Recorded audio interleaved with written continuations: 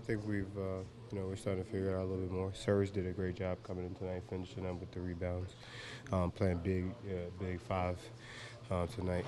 Uh, I think we're just committed to executing the game plans when we have to.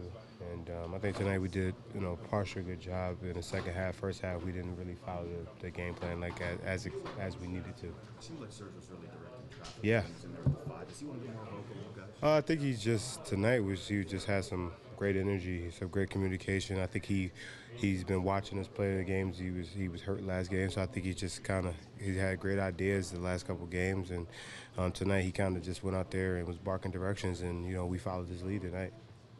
The, uh, how much of it, I don't know if luxury is the right word, but when the threes aren't going down, you can still go to DeMar and he can get you 14, 15 field goals. Man, that's what people don't understand. That man is one of the best players in the NBA, man. And, you know, no matter if he shoot threes or not, he's still gonna get you buckets, and that's what he do. He's a he's a natural bucket getter.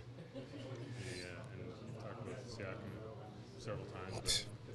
It, Well, wasn't, wasn't converting fast breaks, but I mean, last year, you think about it, he started what 30 games, and we our record was unbelievable. And uh, I think he just. I, I read an article. He said he's going to make it hard for the coaches not to play him, and he's doing that. So. Um, I, we, we love him, and the energy he's bringing is unbelievable, and uh, we just want to keep it up.